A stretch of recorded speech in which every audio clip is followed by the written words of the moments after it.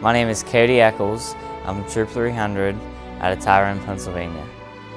When I started my project, I went to the uh, local borough office and I asked the mayor what I could do for a project. And he kind of threw me towards the idea of some guys, the Legion, wanted us to put six flagpoles around the rock.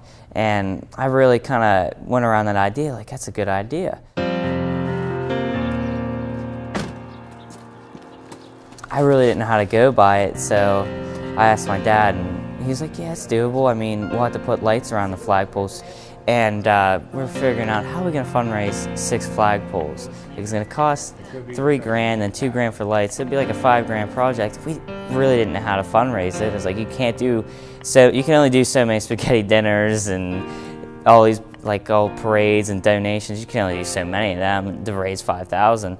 And kind of we were asking a family friend, and he came up with the idea. Hey, why don't you sell veterans bricks?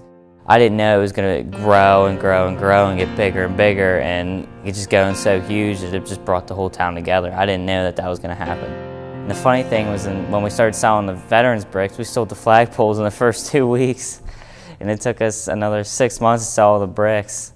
It was real cool. It was kind of hard to fathom thinking to raise $30,000 in a, a year's time.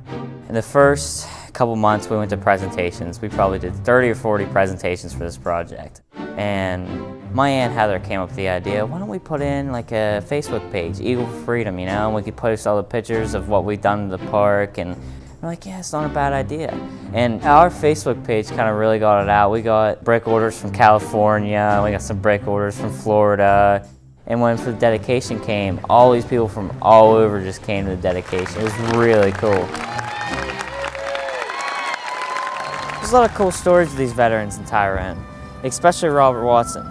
He graduated from Tyrone and he served on the Scorpion.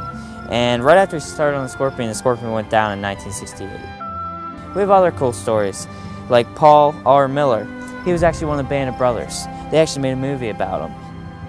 There's not just men's stories in here, there's women's stories too, like Carolyn Wartz. She was in the United States Air Force, she was a nurse. You know, that's just a few of the cool stories in here and there's tons more. It's real amazing how this Veterans Memorial looks at night. I know, it does look great. I kind of grew up with scouting. It showed me that what's the right thing to do and what's not the right thing to do. It showed me that um, you always want to do, do a good turn daily. You want to help with your mom with groceries. You want to help other people. And it really made me into the man I turned today. I think it really helped me prepare for my Eagle Scout project, for helping the veterans and helping other people and even helping the community every chance I get.